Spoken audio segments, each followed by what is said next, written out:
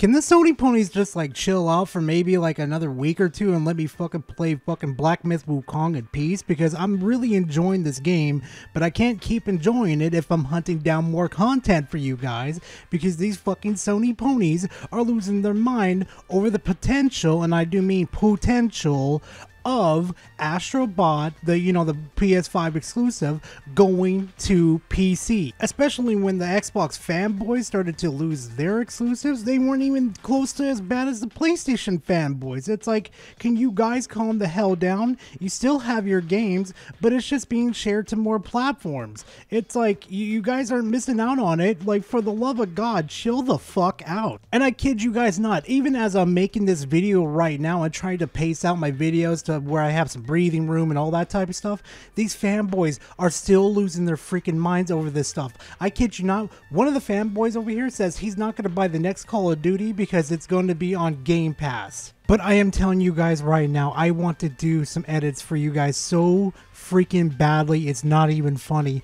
But the salt is literally Anyway, let's completely disregard the theatrical stuff I was doing right there. So I'm just going to let you guys know that this salt was not found on Twitter. This was found in their own little comfy little home base where they like to be called Icon Era. Yeah, that uh, that that website right there is like their home base where they like to bitch about Xbox and praise freaking PlayStation.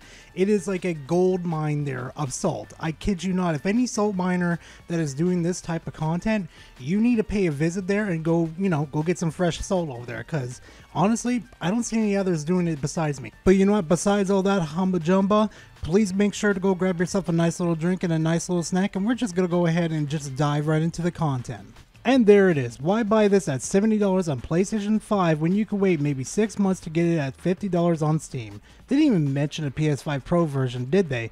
Classic SIE is dead. Whatever this new iteration is, is not the one that made the consoles and community slash culture around them that I came to love. I don't recognize this SIE, but I do know I don't like it very much. oh, wait, you serious? Let me laugh even harder. I mean, it should have been pretty obvious right from the get go when they started to port their games to PC that they're trying to, I don't fucking know, penetrate the market so they can earn more money. It's not the matter of fact that, you know, PlayStation fans are paying them enough. No, no, no, no. Sony wants all the money, okay? They want all the money in the world. So that's kind of like why they put the whole login thing on Helldivers 2 because they want to look good to their investors and say, hey, look, our player base is growing, you know? Maybe you should start start investing a little more money into our company because, you know, we want that money. We really need that money. And I mean, let's be honest here for a quick second. When they brought trophies over to the PC platform, that should have been even a bigger fucking red flag to everybody saying, like, oh yeah, PlayStation is slowly creeping into the fucking PC full market here. Like, come on, guys. Look at the fucking obvious signs of what's going on right now. Come on. Yep, there's a few people that dedicate all their spare time to advocate and push for PC PC ports of PlayStation games and even buy the game for other people just to accelerate this whole thing. It's pretty disgusting, but they frame it like they are doing something positive. Their only motive is to undermine PlayStation as a platform. Just stop.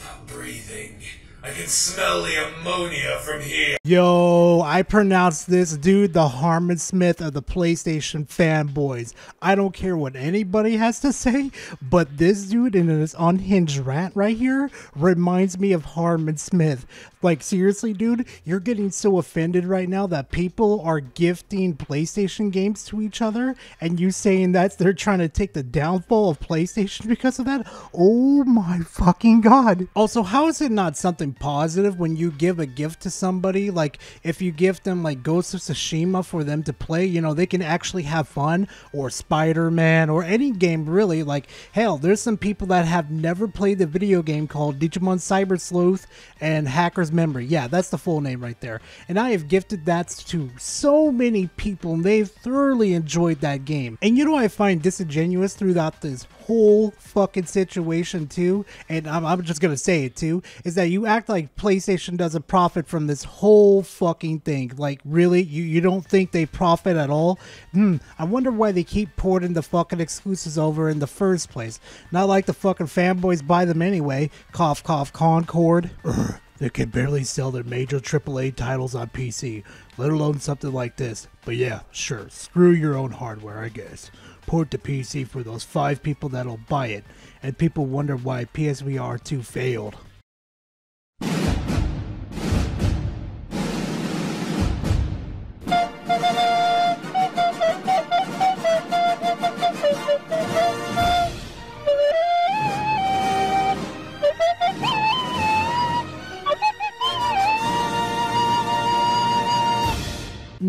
I'm sorry. You, you're not going to blame us for the PSVR 2 because technically it was your guys' fault. It was on your own home territory, and you guys barely bought the fucking piece of thing because, well, let's be honest here for a second. If you're not a fanboy, you obviously saw that it was kind of a useless hunk of shit. Also, let me remind you real quickly, PlayStation fanboy, who has the bigger fucking player base on Helldivers 2 on PC right now? Meaning there is more copies sold on PC versus your guys' fucking platform, the console, okay?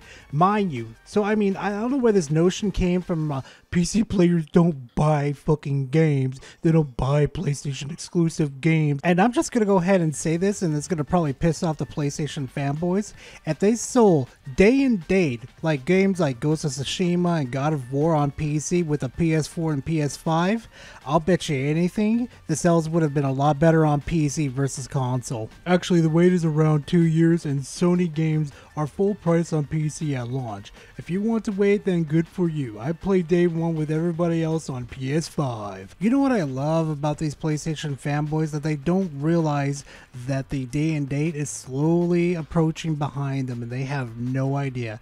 Do you guys realize that two of your exclusives are coming to PC day and date? Until Dawn and Silent Hill 2. Oh, and uh, please, let's not forget about Concord. Let's not forget about Helldivers 2. You, you know, those games that came day and date, but you guys said it was only going to be the GaaS fucking games that were going to come. No, nope, here comes the story mode fucking games now. Now here comes the fucking developers themselves asking if it's okay to port their games to PC day and day with everything else. Like, oof. Oof, I'm telling y'all, that exclusivity shit is about to end real soon. The fact is that ports are a symptom of a hidden cancer residing deep inside SIE.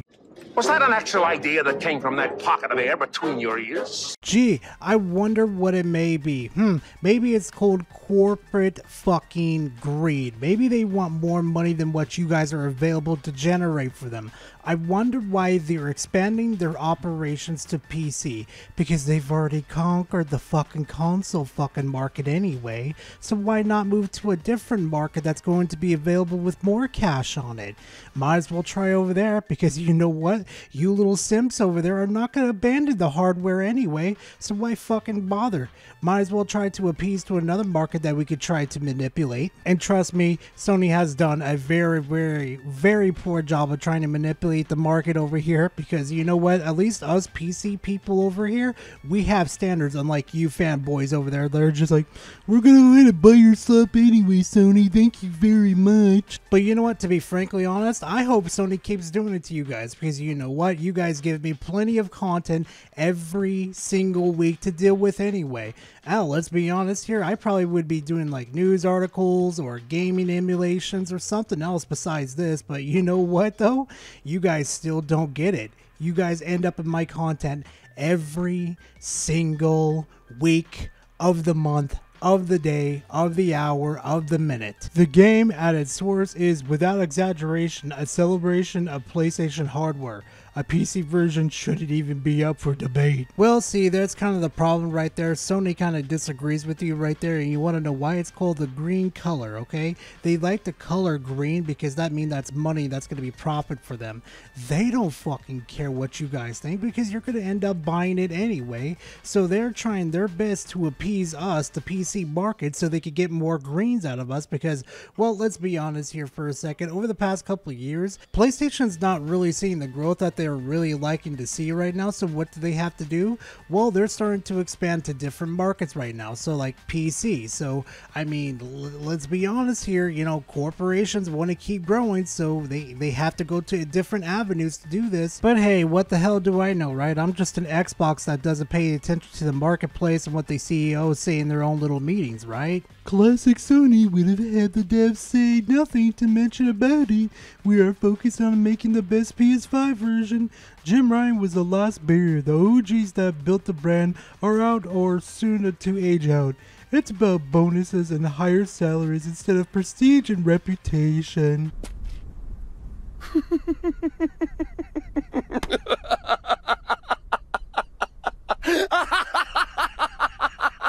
Did we seriously forget who was pushing those fucking exclusives to PC where it all started with? Yo, no, no, no, no. Like, seriously? You fucking fanboys really forgot who was pushing that to PC, didn't you? Did you forget that he pushed Spider Man to PC? Did you forget that he pushed God of War to PC? And hey, remember the ABK deal that was going on at that time? Yeah, remember Jim Ryan went to all these fucking regulators and bitched and cried to them instead of giving you guys good exclusives for your console?